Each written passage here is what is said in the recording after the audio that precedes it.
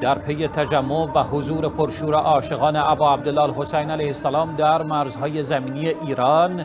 بالاخره مسئولان این کشور در برابر تلاش و اراده زائران کوتاه آمده و مجبور به باز کردن مرزهای مهران و شلمچه شدند. ظهر روز گذشته تعدادی از زائران ایرانی در تماسی تلفنی به خبرنگار شیعه Waves اطلاع دادند که بدون اعلام قبلی و به طور غیرمنتظره مرز مهران باز شد و هزاران عاشق که چند روزی پشت مرز منتظر بودند موفق شدند وارد خاک عراق شوند.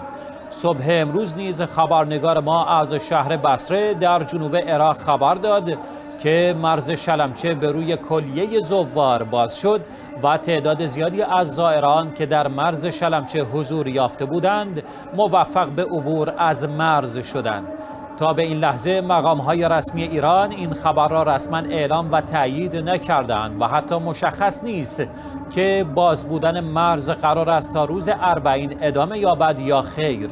اما اکنون این پرسش مطرح می شود که چرا باز شدن مرز بدون اطلاع قبلی بوده و چرا چنین اتفاقی با تأخیر رخ داده و عاشقان اهل بیت اسمت و طهارت علیهم السلام برای رساندن خود به زیارت اربعین با سختی زیاد و زمان فشرده مواجه شوند؟